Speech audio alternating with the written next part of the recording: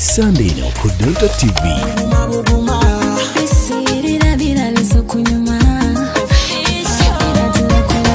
ntandise kufuna feeling. Eh, hey, ntandise okujifuna oh mama nze life okujiwa meaning. Ah. Kujifuna oh baby. Manya ndi willing. Hey, wilingi okukuwala mingi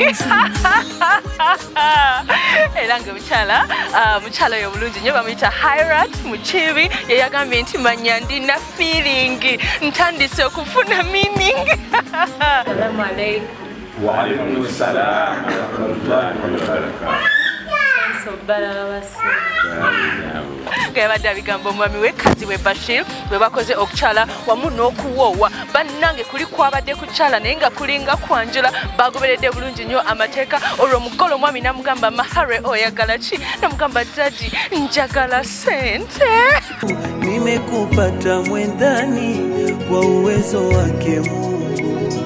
Mingi yapo nyumbani, kutua wangu mti. Omukolo gwabadde mulungi nnyo. Ate bwe tunavaayo tukutuuseeko ate okwanjula kuno nga kwabadde kwa kabinyo nga kwa kakyala ka potable kalungi kawanvu kalina kye bayita obwongo. Onono nga bamuyita omulongo babiri e mary nankinga. Nga yabadde yanjira omwami we andrew tinamasiko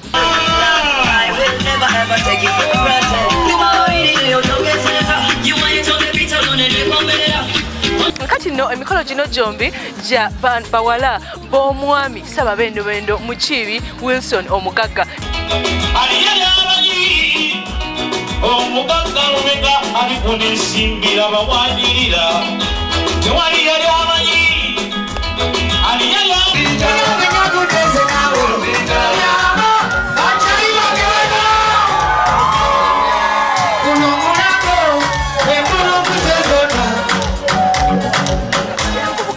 ye bweraze ku mukolo ogwa mary bwe yasazeewo n'asiima mary n'omwami we andrew n'agamba nti mmwe kambawo entandikwa n'abasimba fuso babeere nga bakola bulungi. Nnyo teyakomyeko n'asiima n'omu ku baana be asinze okukola obulungi emikolo gyonna tugenda gikulaga. Tugenda tuyisa mu programu y'okwanjula n'embaga sande nasaa zigenda kubeera 11 mpaka mukanekodeo kyakivi tukole nange sharita mazima wangu